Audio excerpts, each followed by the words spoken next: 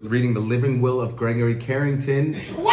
Mr. and Miss Carrington, you guys are the sole owners of the entire estate worth $80 million. Oh my God, let's go! Lulu Carrington, You. the entire business with a net worth of $8 billion. A billion.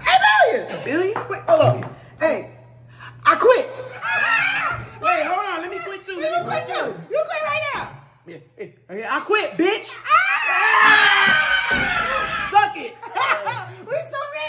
Rich. I added that suck it. I just felt it. It was in my And body. finally, Bach Carrington, you get absolutely nothing. Wait, what? Flip the back. Flip the back. Let me see the back. Who got the PS5? PS5, he gave that to me, actually. I'm gonna give it to my son. I could Fuck your son. Oh. I just quit my job. Yeah, Jeremy, can I stay with y'all? It's gonna be difficult. Yeah, You got 43 rooms. they're all full. Can I Um, work for you? Yeah, you can push a broom. What was that? so rich. yeah.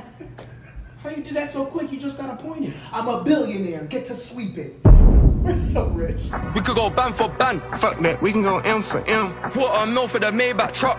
Double R with the factory.